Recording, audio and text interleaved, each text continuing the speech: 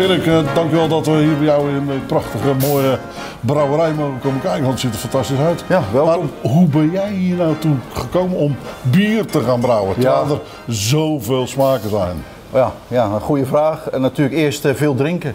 Ja. Veel drinken zelf en uh, smaken ontdekken. En ja, toen ben ik in een workshop ooit beland in Rotterdam. Workshop brouwen in je keuken. En dat was daadwerkelijk met kleine pannetjes aan de gang om zelf bier te maken. En uh, nou ja, ik dacht ook voor je, dat kan nooit wat worden. Maar wat bleek na zes weken, het, het was echt een lekker biertje. dus uh, toen heb ik een grote pan gekocht, 50 liter, op mijn fornuis en uh, zo ben ik begonnen.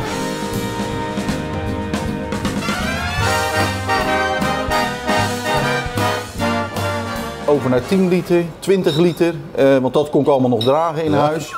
Op een gegeven moment was ik bijna elke zondag aan het brouwen. En dat werd net zo snel weer leeggedronken door, uh, door mijn vrienden. Die ja, op, op, een gegeven moment lucht van kregen. Van joh, ik, uh, je bent zondag aan het brouwen. Dus ja, dat, dat werd net zo snel weer opgedronken. Ja. hoe, kom je aan, hoe kom je aan het begin dan aan de ingrediënten die je ervoor nodig hebt?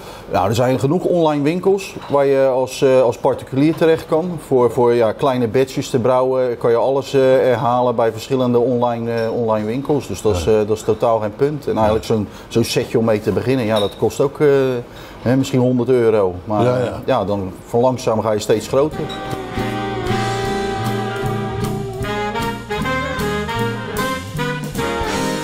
Gewoon volledig uit de hand gelopen, absoluut ja.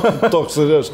Heb je van je beroep je hobby, of althans je hobby kunnen maken? Nee, nee, absoluut niet. Nee, ik werk nog vier dagen daarnaast. Dus uh, ik werk vier dagen nog als uh, bouwkostendeskundige. Dus dat is heel iets anders. Ja. Op kantoor, uh, veel achter je computer.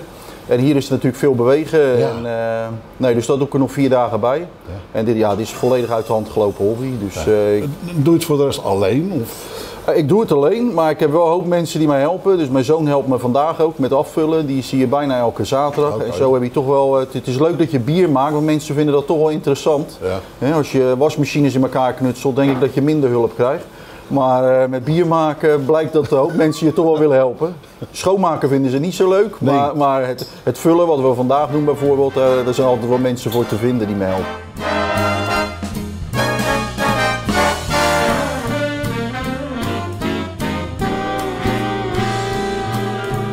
Het eenmaal in de tank staat, hè, als het eenmaal gekookt heeft naar bij, na, met de brouwdag en het staat helemaal in je tanks, ja, dan moet alles zo goed schoon zijn. Ja, ja, ja. Zuurstof is al een killing voor, uh, voor een bier. Dus uh, alles moet met CO2. En, uh, dus ja, het is hoopwerk. Maar, ja, ja. maar wel superleuk. Deze ketel ziet er natuurlijk fantastisch uit, maar geen idee wat. Nee, dat voorstel als leek zijn. Dat zoals begrijp ik, begrijp ik. Nee, ik heb, het is uitgelegd op 500 liter. Dus ik heb een warm watertank, uh, puur om uh, je, uh, ja, je water op te warmen. een maistank, dus daar maak je eigenlijk het hele recept in. Daar gaat dus de mouten in en daar maak je echt je recept in. Daar kan je ook in filteren in de tank. Dus het moet gefilterd worden. Daarna gaat het naar de, de, de kookketel. Ja, in de kookketel, dat zegt het al, daar ga je echt koken om het hygiënisch te maken. De hop gaat erbij en allerlei andere kruiden als je dat wil. En laatst heb ik sinaasappelschillen bijgegooid. Uh, dat gaat in de kookketel. Dan gaat het door de plaatkoeler. Om, uh, van 100 graden moet het naar ongeveer 20 graden in de vergistingstank. Dus dat gaat door de plaatkoeler in één keer. En dan, ja, dan zit het na een brouwdag zit het dan in de vergistingstank. Gist erbij. En dan, ja, dan hoop je dat het de dag erna aan het gisten is. Ja. Nou, na uh, een, uh, een, dag of vier hoofdvergisting laat je hem nog een weekje zitten. Dus uh, bier zit ongeveer twee weken in de vergistingstank. Oh, toch? Ja, ja. En dan zet je hem over naar de lagertank. En in de lagertank zet je hem op 2 graden en dan laat je hem echt helemaal uitlageren, op smaak komen. En dan is het zoals vandaag, vullen we dus af vanuit de lagertank, vullen we af in de vulmachine.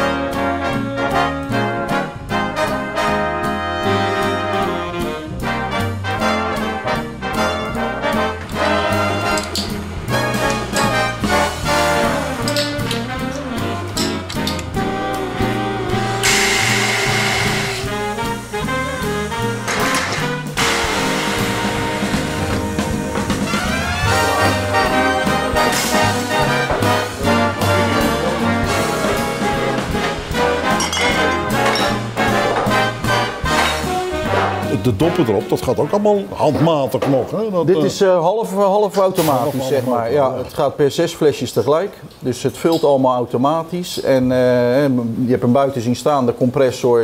ja, die hebben we maar niet binnengezet, want dat maakt 95 dB. Ja, ja, ja. Dus dan moeten we hier ook met oordoppen op. Maar dat gaat ook allemaal, ja, maar het is ook nog wel echt handwerk. Ja, en dat is tijdens zo'n brouwdag ook. Het is nog steeds wel een ambacht.